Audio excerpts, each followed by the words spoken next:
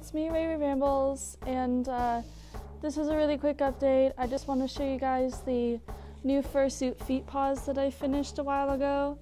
Um, these are for Ray Ray, and um, they're really comfortable because they have shoes inside of them. They are made off of some Toms.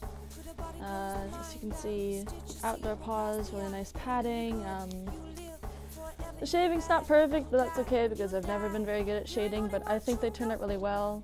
I love the toes. Um, I think they're super cute. They're super fun and stompy. So uh, this was my first pair. So they're not perfect, but I think they turned out pretty well. Uh, let me know what you guys think. I love you all. Bye-bye.